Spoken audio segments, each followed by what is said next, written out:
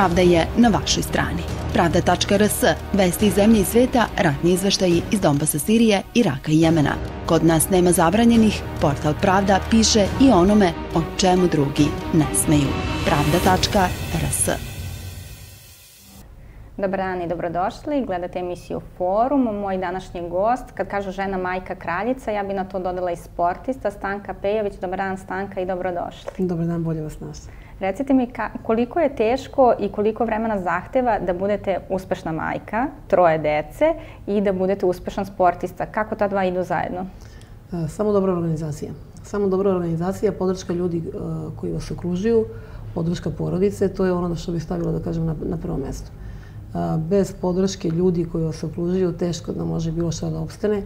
Pa i ovo, dokle sam ja dogurala, mislim da bi bilo ovaj, da ne bi bilo ovako uspešno da nisu bili ljudi kako treba oko mene.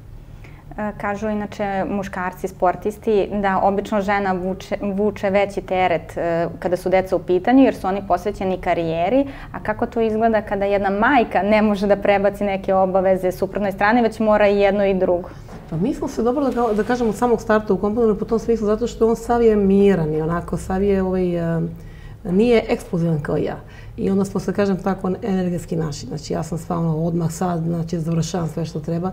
I ovaj, uh, imam mnogo više energije nego, nego muž, tako da, da mi nije problem, zaista mi nije problem da radim uh, sve ovo što radim. Bitno mi je samo, kažem, uh, ljudi koji me okružuju, to mi je, da kažemo, ono, najveći problem ili, ili najveća podrška. Sve zavisi od situacije u kojoj se nalazim.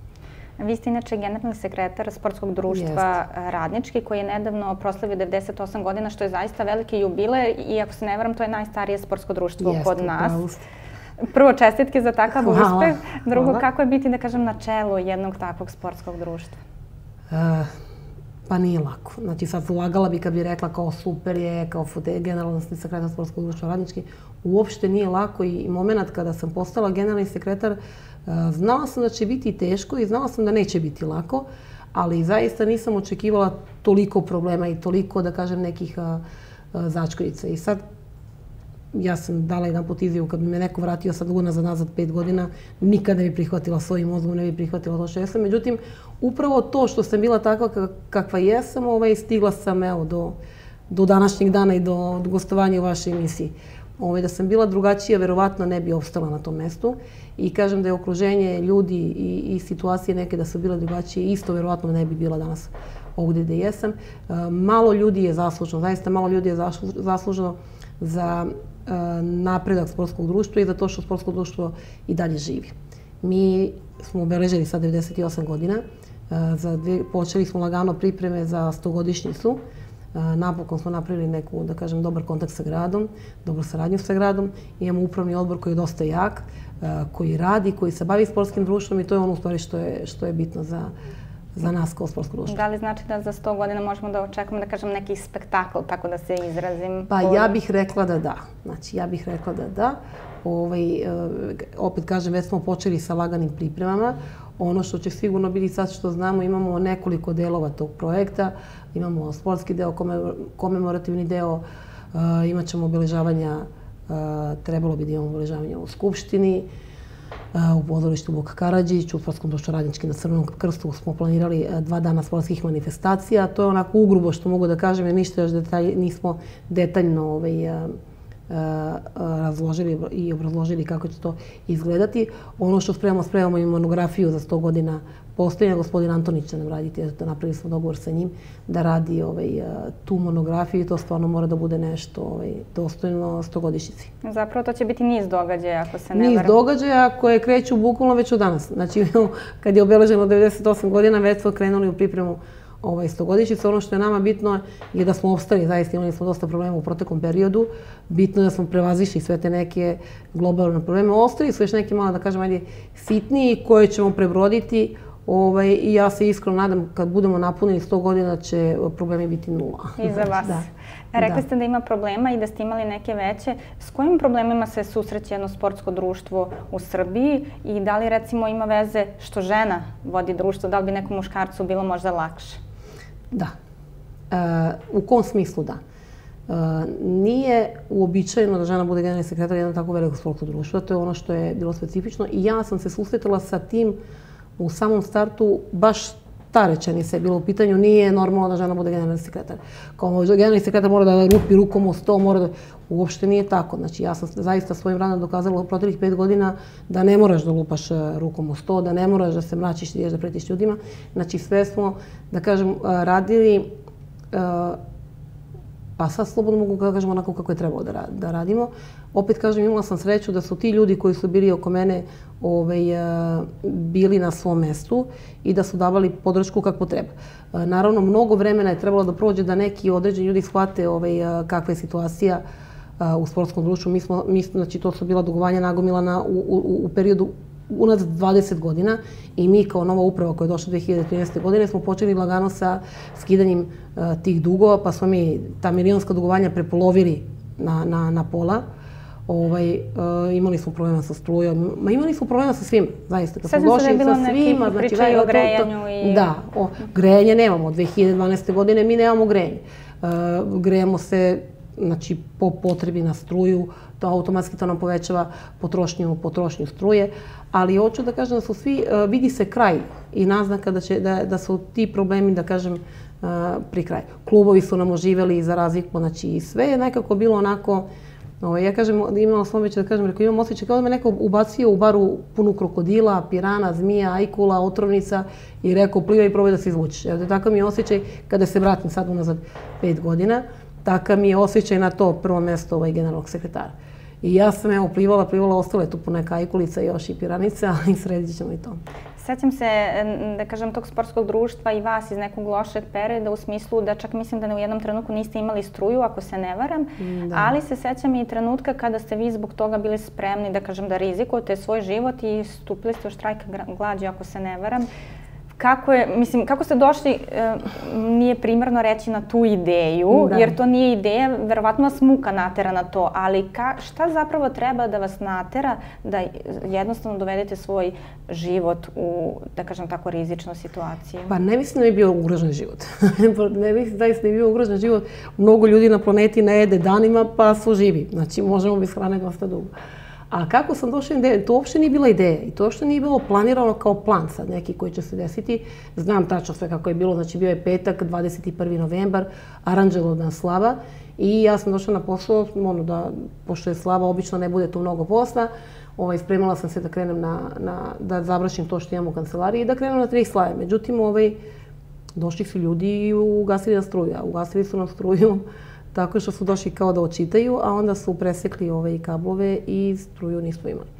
I u tom trenutku ja zaista nisam imala drugo rešenje. Znači, prvo što mi je palo na pamet, nemamo struju, znači, eh, 21. novembar, hladno, gomila dece koje treniraju u velikoj i u maloj sali. Mm, eh, mm, to jednostavno je kulminiralo, ajde da kažem, kulminiralo je sa tim i, oj, i ja sam rekla ovom mom uh, direktoru Haleru, kaže, tupam u šta je glađa. Što radiš, rekao, krenuo šta je. Pa kako, pa šta je rekao, vidi, to je jedini način da malo prodrvamo ove ljude i institucije da, da ne rade to što se radi, tako? I onda sam, da kažem, ušla i to smatram jednom od većih gluposti u ovom životu, onako da budem iskrena, zato što e, ništa nisam postigla sem toga da su nam upalili struju posle sedam dana. Uh, sedam dana nisam jela, sedam dana sam spavala u kancelariji. Kancelarija je bila non stop puna i, onako najiskrenija da budem to me je više ti ljudi koji su mi dolazi, zamaralo me u smislu Psihički, verovatno. Psihički, da, jer ja svih tih sedam dana uopšte nisam delovala kao da se mi izla. Znači, adrenalin me je držao sedam dana. I čak mi u jednom trenutku muž rekao, kaže, čekaj, bre, pomislit će ljudi da kriješ sarmu ispod kreveta. znači, ovaj, deluj, ma, makar deluj malo kao da si bolesna, međutim, ne, meni zaista nije, nije, ovaj, uh, nisam se osjećala loše. I sedmi dan kada su upalili struju, to je bilo kao da ste uzeli iglu i probušili balon. E, u tom trenutku, znači, bukvalno sam ovaj, pala i mogu reći da mi trebalo jednu godinu dana da se uporavim od cele priče. Od tog stresa i svega što ste proživjeli? Pa ne, nije to stres, nego to je više e, psihički, znači, cela ta, cela ta situacija. Ovaj, jer, e, opet kažem, adrenalin je čudo. Adrenalin kad vas drži, to je znači, za sve situacije. Znači, radite stvari koje ne znate da možete da uradite. I, i, i e, taj trenutak, u stvari, kad je upaljeno, krvna slika mi odišla. To je to bilo, znači, dok može mi bilo ispod nule. Cele godine sam primala, uh, bila sam na, na infuzijama uh, primala sam vožđe, još neke terapije za povratak, sad sam super. I zato kažem da je glupo. Znači, Zapravo više se... snosili ste posledice lično vi za... Samo to. Znači, ne kažem sad, ali su više su se, uh, moram da kažem da su više ljudi oko mene bili u stresu nego ja. Znači, ja, za, znači, više mi je bilo žao njih što su doživjeli to kako sam, ja se zaista nisam baš, nisam budala. Znači, ja i prvo imam troje dese i imam odgovornost prema njima. Nikad sebe ne bih urožila život upravo zbog njih. Znači, na, samo zbog njih. I, ovaj, I to je neka situacija koja ne bi znači, dozvolila da, da ovaj, vi kad, kad ste sami, to je jedan život, kad imate decu, to je sasvim druga dimenzija života. I oni su recimo razlog kad ne bi dozvolila naravno da, da mi se desi ništa loše. Kako su oni reagovali baš na tu situaciju? da je to mama u nekom problemu i da pokušava da reši na neki način koji je vjerovatno njima bio strašan. Pa mi smo u to vrijeme imali medijsku blokadu. Ja moram da kažem da smo imali medijsku blokadu i par, par portala i novina je objavilo uh, E, da sam ja stupila u štrajk. Bilo je tu još nekih situacija i naslova koje su preplavile, da kažem, taj događaj. I, ovaj, I njima je više bilo što su ih pitali ljudi sa strane. Znači, oni nisu mogli da vide, uh, mene kad vide, nisu mogli da vide da je to neka katastrofa. Znači, dolazili su mi svaki dan u posjetu ali je više bio moment prič u školi, pitanja nastavnika kako ti je mama. Više ih je to, onda nisu znali, uh, nisu znali kako da se, da, da se nose s njima. Da ja dosta pričam sa njima, usmeram ih. Ipak, ja sam svesna toga da njima nije lako da budu moje dece. Znači, to je eto, da, da počnem da završim što ti, mislim što se tiče moje dece. Znam da im nije lako. Imaju jedan određeni teret, ali mislim da se super nosim sa tim i ja i oni. Znači da, da, da smo naši, meni je bitno što imamo tu dobru komunikaciju, što su oni zaista sa svojim godinama vrlo zreli i vrlo shvataju, uh, uh, vrlo shvataju situacije i nisu kao ostala deca. Znači nemaju te neke, uh, i, uh, uh, lupam sad, uh, sva deca recimo imaju jednog idola i oduševljeni sa tim čovekom i ženom. Moje deca ne. Znači moje deca su u kontri jer ja pričam sa njom, znači kod nas se ne gledaju reality, ne gledaju se te neke zvezde koje su sada... Ne, ne, ne, nema toga. A recite mi, mislite da je to možda da se deca takva rađaju, da je društvo bitno, okruženje, roditelji? Šta je zapravo tu presudan faktor kakva će nam deca zapravo biti kad vi kažete ne gledaju reality? Da li mislite da su takvi rođeni? Da li ste ih vi usmeravali ili je ipak to društvo neko da su izolovani na neki način? Mislim da je sve bitno. Mislim da je bitno i društvo, i porodica, i škola i televizija, mislim da sve ima utice pomalo. Ono što, što ja mogu da tvrdim je da uh, nikad ne možete znati kako da vas pitate. I nikad ne možete da, da kažete da ste nešto pravilno, niste pravilno uradili. Znači, to je jednostavno nešto što, što učite u hodu. Znači, mi svi možemo da pročitamo u knjigama to tako treba. Da, ali nisu sva deca ista. Znači, jedan metod koji imate za jedno dete ne može da vam posluži za drugo dete. Tako da imam troje dece, I svi, znači, to je jedna kuća i jedno vaspitanje. Svi troje su različiti. Znači, svako je individual za sebe.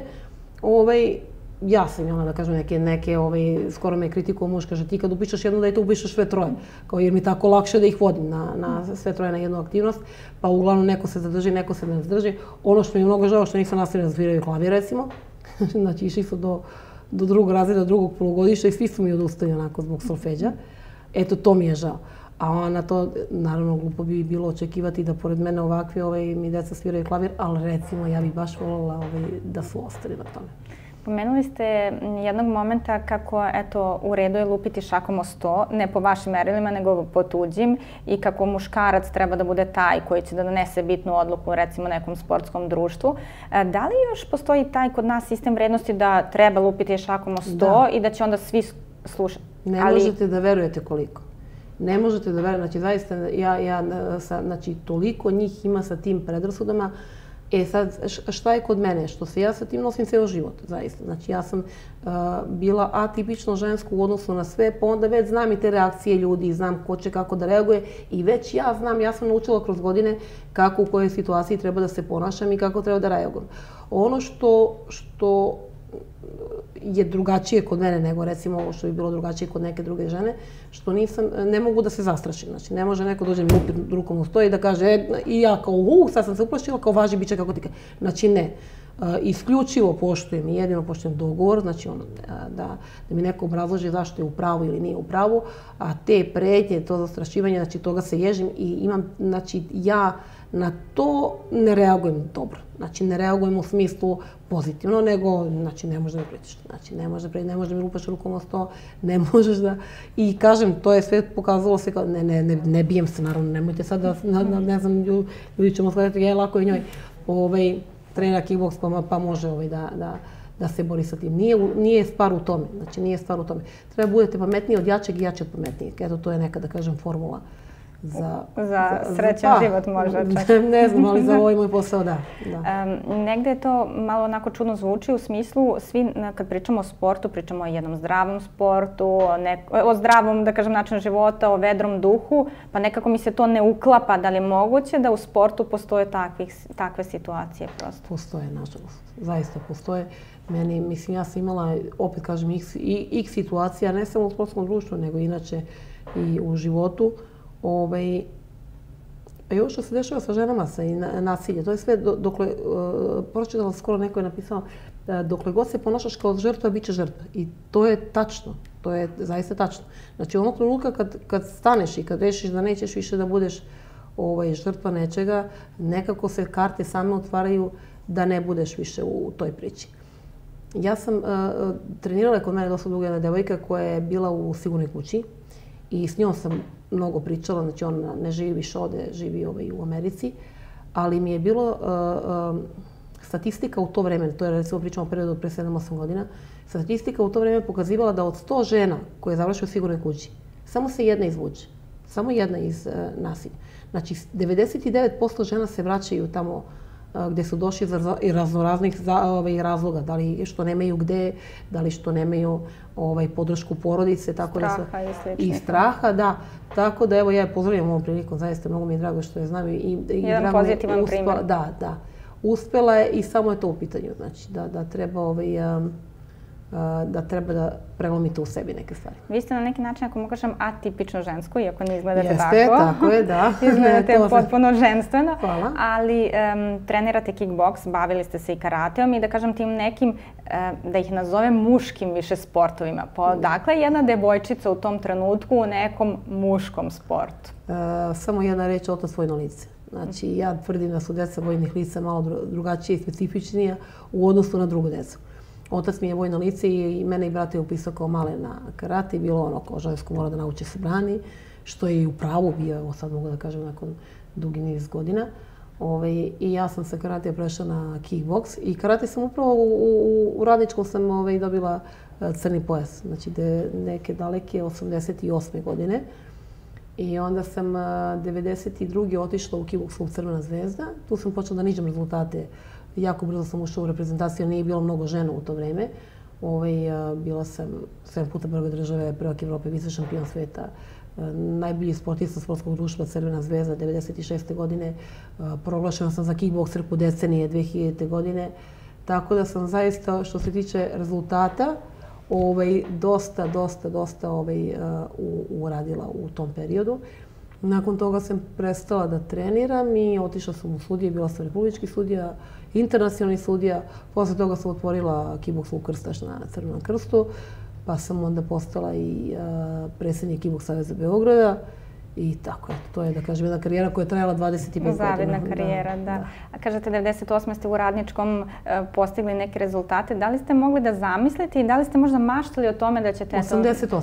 88. 88, da, da, da, pre 30 godina. Da, da ste mogli da zamislite i u čemu ste uopšte maštali, eto, a sad ste na toj poziciji u radničkom? Pa nekako svi putevi su mi vodili u radnički, zaista ceo život. Znači ja i kad sam bila u Crvenoj zvezdi, uh, kada, kada sam trenirala kickboks, ja sam dolazila u radnički i trenirala kod pokojnik Miroslava Čitakovića. Znači, tu je cijela ta garda starih mangupa trenirala na tom terenčetu gdje je sad hala i zato me e, mnogo stvari zaista veže za, za to sportsko društvo. Mi smo po Čikačiri dali ime toj maloj sali, tako da se naša mala sala u Radničkom zove uh, sala Miroslava Čitakovića, velika sala se zove Piva Ivković. Imamo još jednu salu u Đurićevi koju, uh, uh, e, koju smo promenili ime u David Kalinić. Ovaj, eto, to je, nisam mislila nikada da ću ostati. Pa dve stvari nisam verovala, ću ostati u braku i ću ostati u radničkom. Znači, evo me. A obe ste uspeli. E, znači, da, u radničkom sam preko, ajde da kažem, u ovom zadnjem delu više od 10 godina, u braku sam u 2001. Zajedno smo skoro 20 godina. Tako da ovaj, ne treba planirati, nego samo treba pustiti da vas život samo dese. Pomenuli ste stare mangupe.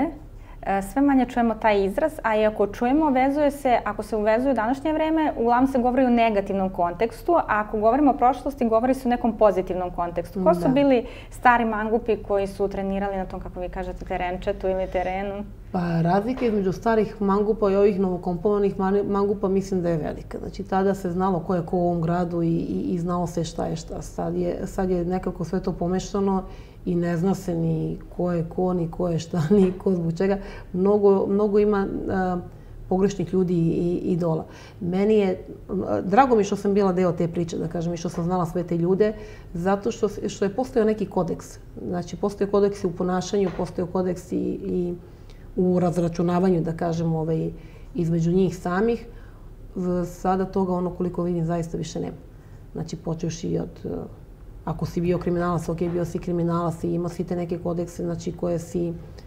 Koje... Koji, imaju, koji su kriminalci imali kodekse nekada, sad ih nemaju? Pa dosta njih. Šta znači Mi, kodeks pa, kad, u znači kontekstu kodeks? Nisu maltretirali žene, znači, nije, znači poštovali, se, poš, poš, poštovali su se te neke, da kažem, zaista tradicionalne vrednosti.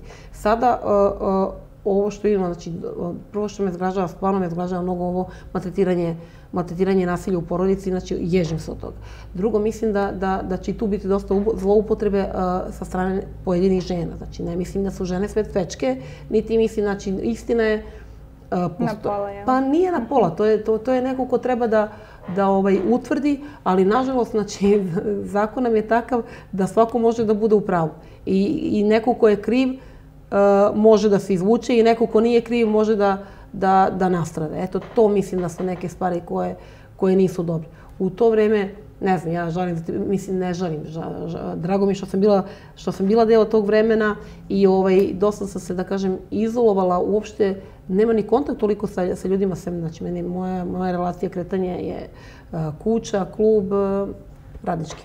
To su mi moje destinacije. Ono što je vrlo interesantno za vas, a to je da ste bili kaskader i to u veoma nekim opasnim situacijama, prolazili ste kroz vatru više puta, pa ako možete da nam, e, mislim da ste čak i jednom bili na ivici da se nabodete na neke šiljke, ako se ne varam, kad ste skakali sa neke zgrade. Ako možete... Sa krana. E, jel da? Da, da, sa krana sam skakala, to je bilo za, za Kustrisu na neku reklamu. Dosta sam snimala. Snimala sam u periodu uh, od 95. do neke ajde da kažem, 2000-te možda, možda i jače godine. Pokojni Željko Božić me uveo u tu priču. On je uh, tragično nastradao uh, kada je pokušao, nije pokušao, uspeo samo što on više, nažalost, nije živ. Uh, skok sa Brankom mosta je imao. Ovaj, uh, pa Boga mi ima dosta godine prošlo tad. Uh, I mi smo bili nas četvoro petore je bilo u celoj toj priči kaskaderskoj. Eh, bio je Žeko, bio je eh, Vladimir Fistrić, Vatica Fistrić, eh, Raša i ja. Čika Zvonce nas je držao pod svojim patronatom, to je stara garda tih kaskadera. Čika Zvonca, Zvonce je Bata Kameni i Piki. To su bila tri stara kaskadera koji su stvarno radili kaskade kao kaskade. I onda pokušali su da prenesu to neko svoje znanje na nas. nakon toga je Žeko došao na ideju da otvori školu i bukvalno je fabrikovao kaskadere. Znači, svako je mogao da bude kaskader i to je meni izgubilo smisla u tom periodu. I onda sam rekla, nije to više za mene, idem u neke druge priče. Tako sam je, da kažem, napustila kaskaderstvo. A šta vas natera, pod znacima navoda, natera da sad vi znate da ćete biti u nekoj situaciji koja je rizična? Da li je to onaj adrenalin koji ste pominjali ranije? Kako se odlučite da sebe dovedete opet u tako neku situaciju? Pa kako, nije rizično, znači sve to što se radi izgleda rizično normalnom čoveku, da kažem normalnim ljudima, ali mi e, e, stavljamo bezbednost ispred svega.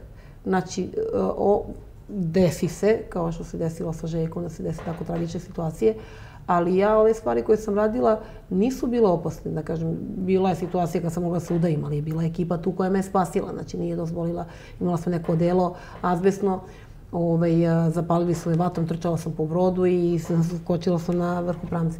I onda me voda povukla pod brod i izvlačili su, znači uspili su da me izvuku, tu sam. Ovaj, Malo pre rekao se da nije rizično, meni to zvuči, vrlo. Da, ali su ljudi tu koji vas pas. Pa evo, rizično je sad. Ja vozim motor i to je rizično. Idem na ronjenje i to je rizično, možda da onaj džek. Znači, postoje, svaki dan je rizik. Rizik vam je da se provozate i po Beogradu, da vas ne udari neko. Možda sedite na pešač, stojite na pešačkom prelazu, da vas koliko tih situacija je bilo zaista, da vi nemate sigurnost danas u životu. Šta, šta je šta nije. Treba živeti. Znači, treba malo ovaj, živeti i raditi stvari u životu koje volite. A ovo su stvari koje ja volim. Ono što je interesantno to je da radite s decom i pretpostavljam da vam taj rad prija, mada koliko znam vaš najstariji član u društvu ima 66 godina, ako se ne vram, a najmlađi četiri, je li tako? Koliko je teško raditi s decom i kolika je to odgovornost?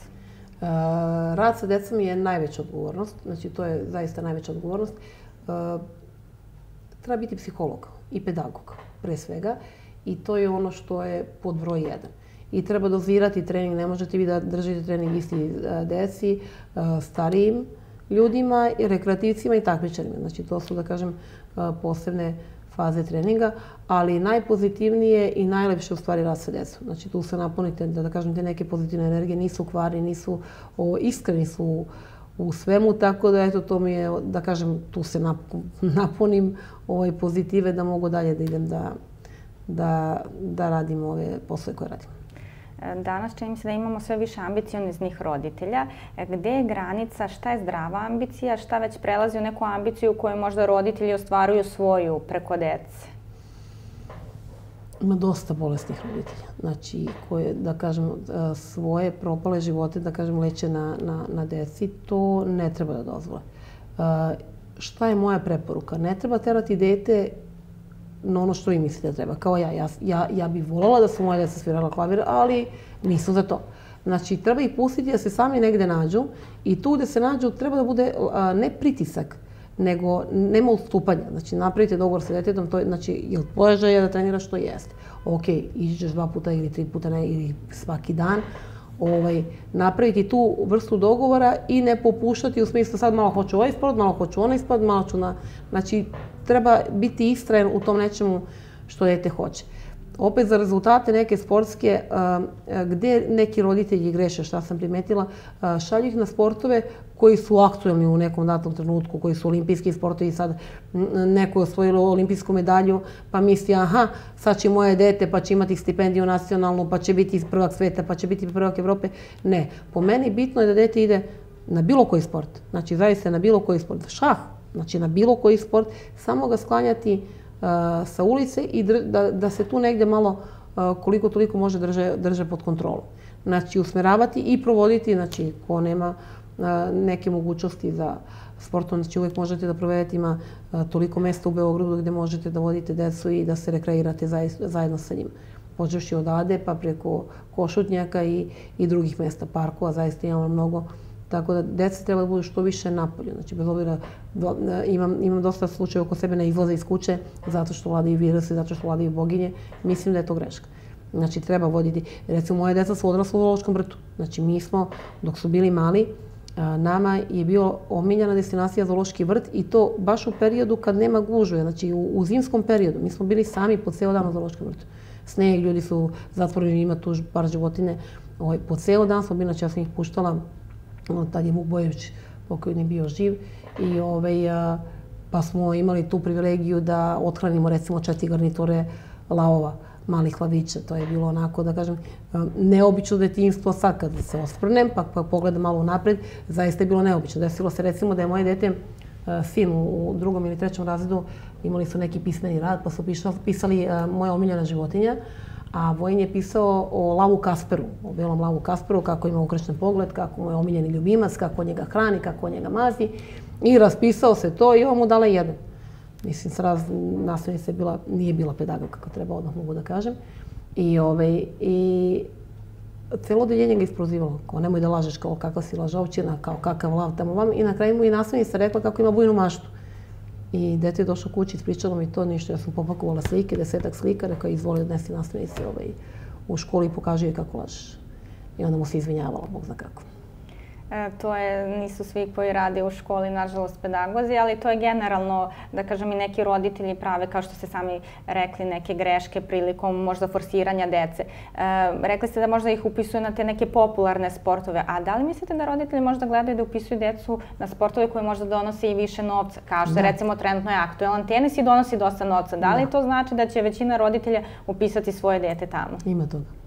Ima, ima, ima dosta toga. Opet ponavljam, znači, bitno je zaista da, da dete pre svega izabere ono što, što njemu odgovara, što odgovara njegovom karakteru i ovaj, što ono želi. Jer vi ako ga pritiskate i, i, i, i terate na nešto što, znači, doći će dan kada će doći moment pucanja. Znači, ne može neko, recimo, moj otac je upisao i mene i brata na, na karate kickboks. On je odustao brzinom svetlosti. Znači, ja sam se u tome pronašla, ja sam to gurala dalje i postigla sve ovo što sam postigla. Ovaj, jednostavno mi je, da kažem, leglo. Imam karakteru i temperamentu. Taj sport mi je u tom trenutku vrlo odgovarao.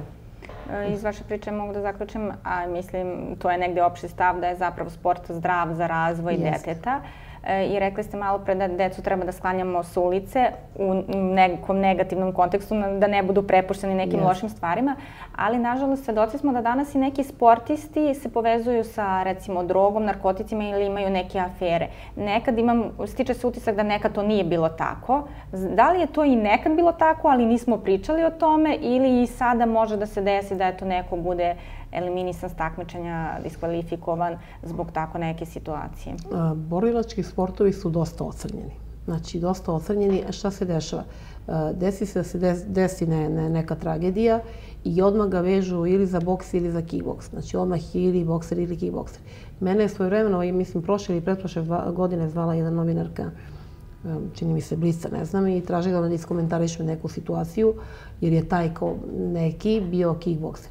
I ja kažem, zašto, zašto je prva asocijacija za nasilnika kickbox i boks? Znači, ima toliko ljudi koji, su, koji izgledaju, na, na izgled su normalni, a u stvari su najveći manijaci. Znači, kad ih vidite, nikad ne bih rekao baby face, mili glasići, kulturni, fini, slatki, znači na, na profesijama, a ispostavio se da su mnogo velike psihopate i mnogo veliki manijaci. Znači, za kickbox ne kažem da nema, znači ima i takvih, ali nije karakteristično. Znači ono što je recimo za krsa specifično, mnogo, e, mnogo rekreativaca tih koji ima, znači ima ljudi koji su iz sveta e, medicine, iz sveta glume, pevači, znači kickbox po meni i ti borilački sportovi su idealni za izbasivanje negativne energije i mnogo su mirniji i, i, i staloženiji od ljudi koji to e, drže u sebi. Znači, vi kad nešto držite u sebi, to u nekom trenutku mora da je Da li, da li je zdravstveno, da li je ovaj, na koži nešto, nešto, znači to nešto, ta neka negativa negde mora da izađe. A tvrdim, tvrdim da u borilačkim sportovima negativno osjećanje odlaze, zaista. I da su mnogo mirniji ovi koji treniraju nego ovi koji ne treniraju. U okviru vašeg sportskog društva nalazi se i klub CC Kitić. Trenutno su tu razne spekulacije, priče. Koliko ste vi upućeni u cijelu tu situaciju? Totalno, skroz. E, Teca je pred svega ovoga zvala me telefonom i rekla mi e, šta je se dešava. I onda uh, sam ja dala neki savjet da, da mora da, da reši tu situaciju kako jeste. Međutim, kako je krenulo po medijima, ovaj, e, svakodnevno se čujem sa njom. Na, nažalost, nije došla za 98 godina, nije mogla da se pojavi. U jednom trenutku je zaista psihički bila jako loše, jer e, šta radi? Ona čita, ja, koja je razlika između mene i nje. Ja kad me nešto nervira, ja to izolujem, uopšte ne želim da, da, ne, ne želim da slušam to nešto negativno.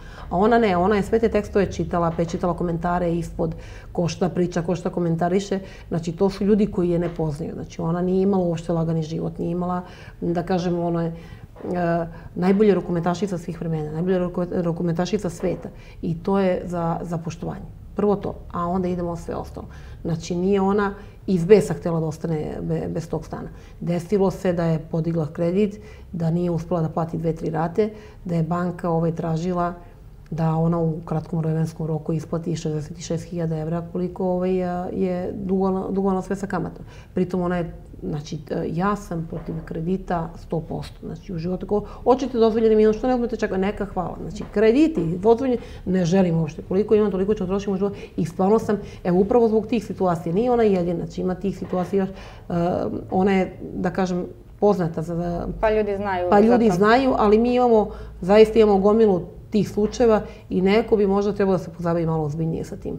Neko bi trebao da stane u zaštitu tih ljudi, jer ovo, ja sam tek sad videla koliko ljudi je ovaj, izvršili samobistava i svega toga nešto da naravno nije, ne ide u tom pravcu.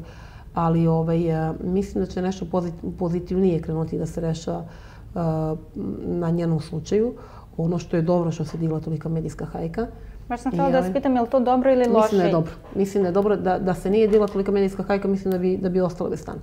Mislim da bi A što je s onim ljudima koji nažalost nemaju priliku kao recimo pričamo. Ceca Kitić da se obrati? Upravo o tome pričamo. Upravo o tome pričamo. Znači to je i ona isto kaže. Isto kaže neka, kaže kako, kako, kako, kako, kako drugi, tako ću ja. Ovaj, a, zahvaljujući njoj će čuti iz ove druge slučajeve. Znači evo opet kažem, ja nisam znala toliko slučajeva da ima da se nije ona pojavila sa tom pričom. E, a kada se pojavila ona sa pričom, onda smo čuli i za te druge ljudi. Znači, vi kad imate nekoga koje je, da, da kažem, u tom problemu, pa onda ovaj, kao domino, znači, otkrivaju se i ovi ostali. Mnogo mi je žao i ne znam, ne znam što da kažem zaista. Pomenuli ste da ima negativnih komentara. Što čovjeka tera nekoga ko nije u toj situaciji, možda da recimo komentariše nečiji tuđi život? Kompleksi. Neostvarenost. Ja ću da vam kažem. Znači, Ceca je neko ko se ostvario kao sportista, Ceca je neko ko se, ko se ostvario kao čovjek, Ceca je neko ko se ostvario uh, kao majka, znači i ona žena uopšte nema komplekse. Znači, nema komplekse više, znači to što jeste, ona je apsolutno uh, normalna i znači nema problem da sede ni sa kim uh, da glumi neku veličinu ili da, da, da glumi, da, ajde da kažem, ne, ne, neko ludilo. I možda to i jeste uh, uh, ne znam, da, volila bi da nađem pravu Da li je to mana ili je to plus u e, pa sad je to pitanje. Sad je i to pitanje da li je to mana, da li je to plus. Zapravo da li je to... skromnost jeste veličina Jest. i vrlina najvećih. Upravo tako. Ali nažalost kao da se da je necene dovoljno. Evo recimo tad kada, kada sam ja štrajkovala, to moram i da napomenu isto, ona se meni priključila peti dan. Peti dan štrajka.